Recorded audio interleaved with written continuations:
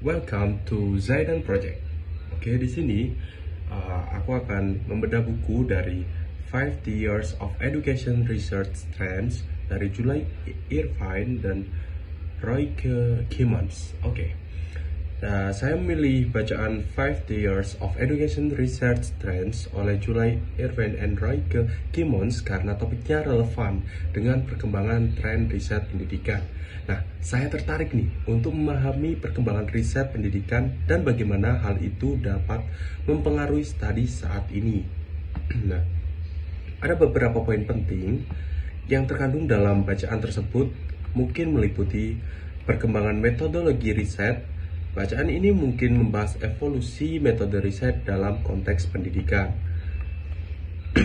nah, seperti pergeseran dari pendekatan kuantitatif dan kualitatif atau penggunaan teknologi dalam riset pendidikan. Nah, yang kedua ada tren tematik. Bacaan ini mungkin eh, menyoroti tren-tren tematik dalam riset pendidikan.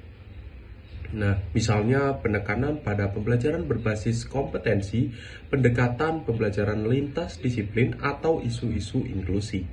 Nah, dampak terhadap kebijakan pendidikan, kemungkinan bacaan ini juga membahas bagaimana hasil riset yang telah mempengaruhi kebijakan pendidikan, baik secara lokal maupun global.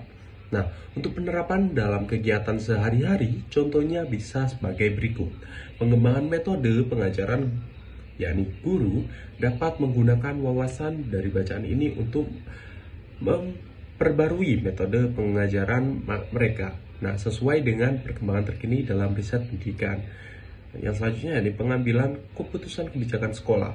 Nah, para pemangku kepentingan di bidang pendidikan dapat menggunakan informasi dari bacaan ini untuk membantu dalam pengambilan keputusan terkait kebijakan sekolah seperti kurikulum dan penilaian. Pengembangan program pelatihan guru, pihak yang telah terlibat dalam pengembangan program pelatihan guru dapat memanfaatkan informasi tentang tren riset pendidikan untuk memastikan bahwa para pendidik dilengkapi dengan pengetahuan yang dan keterampilan terkini. Nah, Berikut adalah uh, hasil uh, yang telah aku baca mengenai buku 5T Education ini. Nah, cara fasilitasi belajar, buku ini dapat memberikan wawasan tentang tren terkini dalam riset pendidikan, termasuk metode dan strategi pembelajaran yang efektif.